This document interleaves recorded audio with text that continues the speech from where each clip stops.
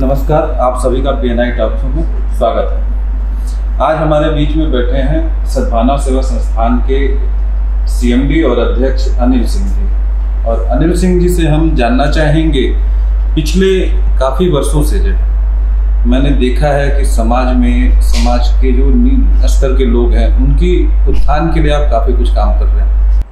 सद्भावना सेवा संस्थान हम लोगों ने 2010 में शुरू की थी।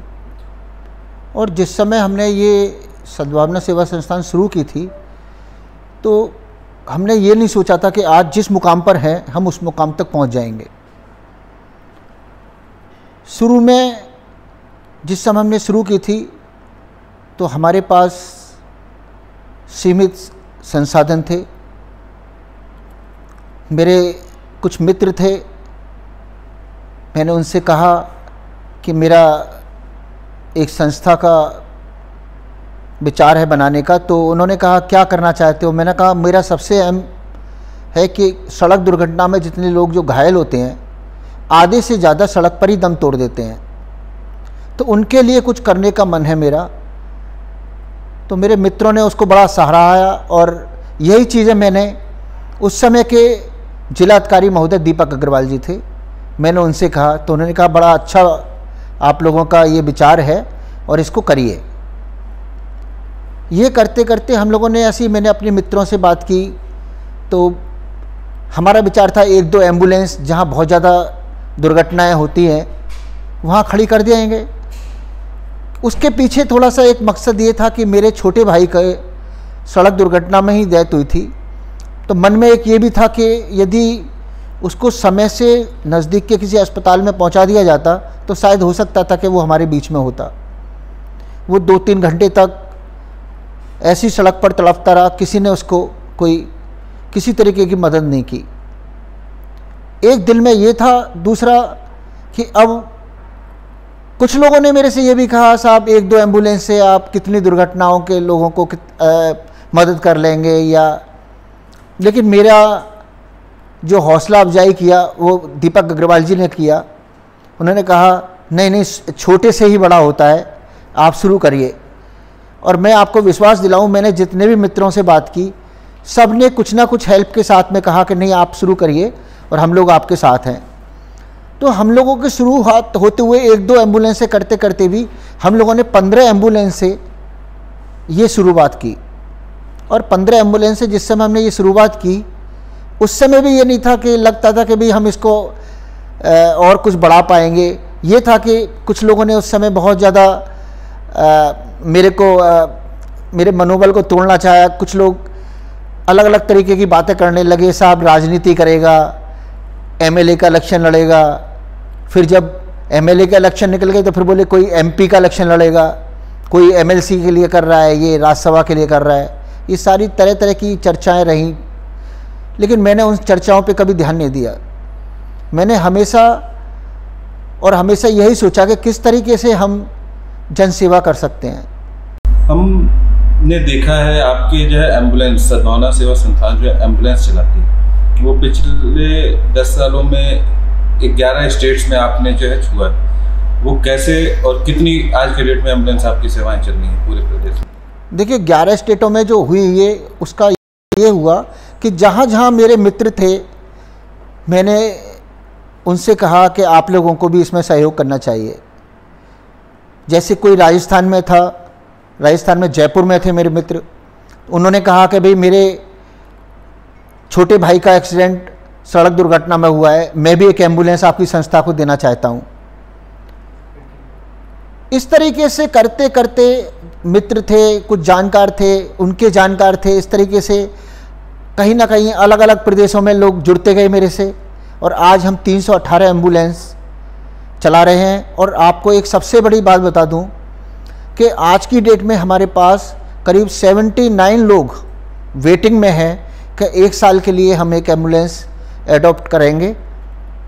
कोई अपने ग्रैंड फादर के नाम पे चलाता है, कोई अपने किसी जैसे कोई दुर्घटना में ख़त्म हो गया तो उसके नाम पे चलाता है। उसमें हम लोगों ने एक, उसमें कोई हमारा कोई प्रॉफिट वाला कोई वो नहीं है।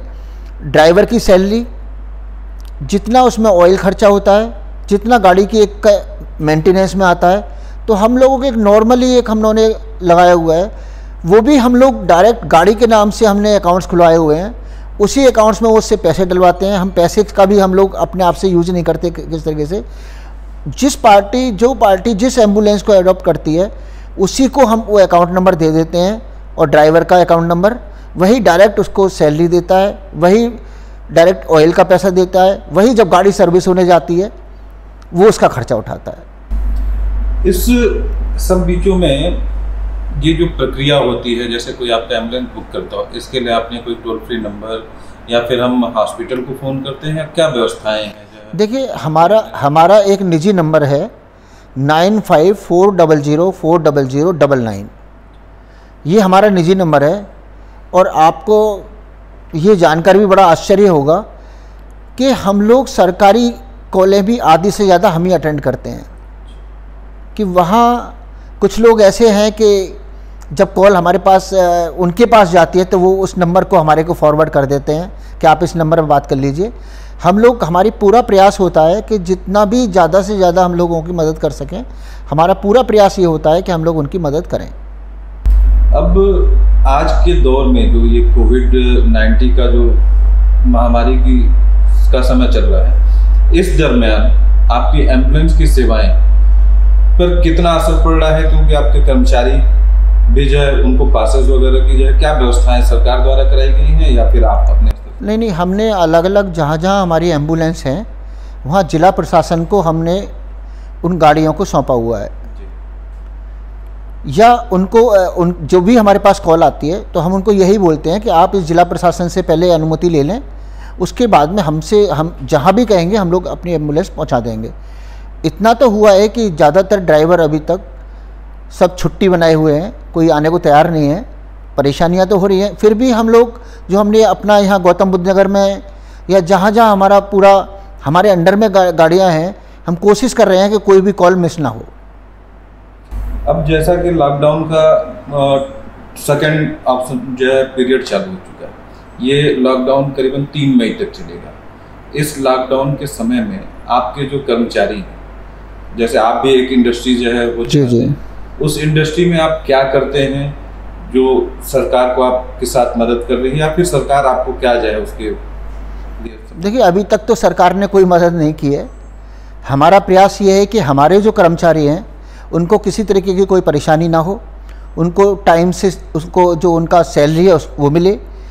हमने आपको बताएँ सद्भावना सेवा संस्थान की तरफ़ से आज तक के उसमें यानी कल हमने छियासठ सौ साठ पैकेट हम लोगों ने राशन के वितरित कर चुके हैं आम लोगों को। ये आम लोगों को आम लोगों को। सद्भावना सेवा संस्थान की तरफ़ से। हम पिछली 22 तारीख से लगातार ये काम कर रहे हैं। और हमारा प्रयास है कि कोई भी यदि हमारी जानकारी में है तो वो भूखा ना सोए। मतलब आपकी कहने का ये है कि आप एक पूरी जो है तरीके से किचन चला रहे हैं या फिर सिर्फ़ राशन सामग्री? नहीं नहीं राशन सामग्री भी और बना हुआ भी हम लोग हम लोगों ने जैसे कभी दाल चावल बनाया है कभी कड़ी चावल बनाए थे कभी खिचड़ी बनाई थी। इस टाइप से हमने पैकेट बनाए। हम लोगों ने 500 के करीब डेली पैकेट बनाते हैं। वो पैकेट अलग से एक हमने निठारी गाँव में बीएस मेमोरियल पब्लिक स्कूल है, वहाँ हमने एक राशन वितरण केंद्र खोला हुआ है। जैसे कोई भी कॉल आती है तो हम लोग वहाँ कॉल कर देते हैं और कॉल के साथ ही जो भी बंदा वहाँ पे जहाँ एड्रेस देता है, हम लोग वहाँ राशन पहुँचा देते हैं। कुछ लोग वहाँ आकर भी राशन लेते हैं, जिसमें कि पूरा सोशल डिस्टेंसिंग का ख्याल रखा जाता है। सबको सैनिटाइजिंग की जाती है जब गेट में घुसते हैं। ये हमारा प्रयास ये है कि भाई जितना भी किसी की मदद हो सकती है हम मदद करें। एक बहुत बड़ा सवाल होगा लॉकडाउन खुलने के बाद। वो ये होगा कि जो है इस लॉकडाउन के दरमियान जो भारत की अर्थव्यवस्था है वो प्लस आपके इंडस्ट्री का भी एक मार्केट ग्राफ बहुत गिरा होगा। उसके लिए आप सरकार को या फिर अन्य जो इंडस्ट्रियलिस्ट हैं उनको कुछ सुझाव देना चाहिए देखिए मैं सरकार को एक बात का सुझाव तो देना ही चाहूँगा। कि जितने भी ये इंडस्ट्रियल या मीडियम क्लास के लोग हैं, इन लोगों के लिए इनको कोई ना कोई पैकेज ज़रूर निकालना चाहिए। टैक्सेज में, अब मार्च तक की सैलरी सब लोगों ने आसानी से दे दी, लेकिन अप्रैल की सैलरी घर बैठ के देना एक मीडियम क्लास को या मीडियम इंडस्ट्रियल को बहुत मुश्किल रहेगा, क्योंकि वो इस समय की क्राइसिस में बड़ी मुश्किल से तो अपना काम चला पा रहा था। और आने वाले समय में तो ये बहुत ज़्यादा फेस करना पड़ेगा। जैसा कि मैं आपके बारे में पर्सनली भी जानता हूँ मैंने अक्सर देखा है आप एक मुझे लगता है कि पहले से भी एक छोटी सी ये किचन चलाते हैं जिसके माध्यम से जो राह चलते जो भूखा रह जाता है। कई बार देखा है मैंने आपकी संस्था को जो बस स्टैंड पे या अन्य जगहों पे भूखे लोगों को आप लोग खाना खिलाते रहे जी जी। वो मुझे लगता है अभी भी आप कर रहे होंगे और उसमें क्या आपने और इम्प्लीमेशन की है? देखिए, पहले मेरा इसका एक बहुत बड़ा प्लान था बनाने का। मैंने काफ़ी होटल वालों से संपर्क किया था। जितनी भी ये यहाँ पर आपके मैरिज होम हैं, उनसे भी संपर्क किया था कि भाई, जितना भी खाना आपका बचता है, उसको आप हम लोग दे, को दे दिया करें, जिससे कि हम ये जो भूखे लोग हैं हम लोगों ने आपको बताएँ, हम लोगों ने पंद्रह फ्रिज मंगाए हुए थे। जो कि पंद्रह इस नोएडा के पॉइंटों पे रखवाने का वो था कि भाई कोई भी आए और खाने का सामान रख भी सकता है और जो निडी है जिसको चाहिए, वो उसमें से निकाल के खा सकता है। ये हमारा पूरा एक प्लान बना हुआ तैयार था, लेकिन राजनीति समझ लो या हम उस चीज़ को सही जगह तक पहुँचा नहीं पाए, हमें उसकी किसी ने परमिशन नहीं दी। कोई नहीं बात, उसमें भी आप बहुत अच्छा कर रहे हैं। समाज में जो आप नीचे तबके के लोगों की जो आपकी मदद चलती है, वो अक्सर देखा गया है। आपने बहुत अच्छा प्रयास किया और अपने प्रयास से जितना आप कर रहे हैं, बहुत अच्छा रहा उसके लिए जो है, हम आपको बहुत बहुत धन्यवाद देना चाहेंगे। और इस लॉकडाउन के समय में आप जनता को क्या सुझाव देना चाहेंगे? वो क्या करे और क्या ना करे। देखिए, मैं जनता से यही कहना चाहूँगा कि वह अपने परिवार के साथ घर में रहें, सोशल डिस्टेंसिंग का ख्याल रखें साथ साथ अपने करीब में, जो भी नज़दीक में या ऐसा उनकी जानकारी में आए कि कोई भूखा है तो उसकी मदद करें। और वो जिस भी लायक है, मैं इस नोएडा क्षेत्र के लोगों से ज़रूर यह कहना चाहूँगा कि इतने संपन्न परिवार हैं, यहाँ पे मैं जिनको पर्सनल भी जानता हूँ, जो अभी तक इस ओर ध्यान नहीं दे रहे हैं। जिनकी पहचान नोएडा ने बनाई है, मेरा उनसे भी निवेदन है कि वो बाहर निकलें, लोगों की मदद करें और मदद के साथ साथ सरकार की भी मदद करें। क्योंकि मैं उनको जानता हूँ कि उनको नोएडा ने पहचान दी, नोएडा से उन्होंने बहुत कुछ कमाया है। तो मेरा उनसे भी निवेदन है कि वो नोएडा के लिए और उत्तर प्रदेश सरकार के लिए और केंद्र सरकार के लिए मदद करें।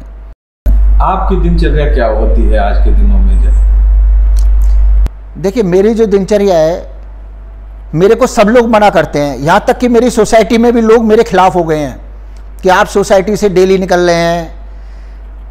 मैं सोसाइटी से अकेला गाड़ी ड्राइव करता हूँ। मैं निकलता हूँ, मैं उनको रिक्वेस्ट करता हूँ कि मैं अकेला जा रहा हूँ, लेकिन जा रहा हूँ ऐसे कार्य के लिए कि जहाँ मैं दस परिवारों को भूखा सोने से बचा रहा हूँ। मैं निकलता हूँ, मेरा एक टारगेट ये रहता है कि मैं ऐसी जगह जाता हूँ कि जब मेरे पास कॉल आता है कि उन कॉलों में मैं देखता हूँ कहाँ कहाँ सच्चाई है। अकेला जाता हूँ, किसी को लेके नहीं जाता हूँ। मेरे साथ में एक, अब दो तीन दिन से मेरे ये अंकित जी हैं, ये मेरे साथ जाते हैं। जाके देखता हूँ कि भाई कहाँ किसको क्या मदद मेरी गाड़ी आप देखेंगे तो मेरी गाड़ी जो है वो एक गोडाउन है। मेरी गाड़ी में आपको आटा भी मिलेगा दाल चावल भी मिलेंगे चीनी भी मिलेगी चाय की पत्ती भी मिलेगी मास्क भी मिलेंगे सैनिटाइज़र भी मिलेगा। यानी वो हर चीज़ मिल जाएगी मेरी गाड़ी में रखी हुई आपको कि कहीं भी जिसको कोई मुझे लगता है कि इसको ये चीज़ की ज़रूरत है तो मैं उसकी दे सकूँ। सर बहुत बहुत धन्यवाद हमारे कुछ समय देने के लिए। और आप सभी को भी मैं धन्यवाद देना चाहूँगा इस बात के साथ कि आप लोग पी एन आई टॉक से जुड़ने के लिए पी एन आई न्यूज़ को सब्सक्राइब करें और हमें लाइक करें।